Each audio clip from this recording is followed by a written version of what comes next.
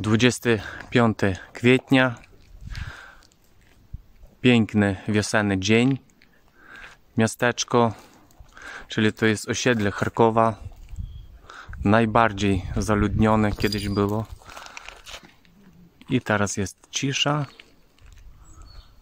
zniszczenia.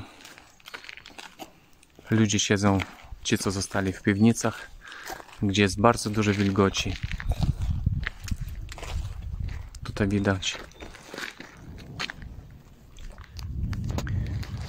No i cały czas słychać ostrzale.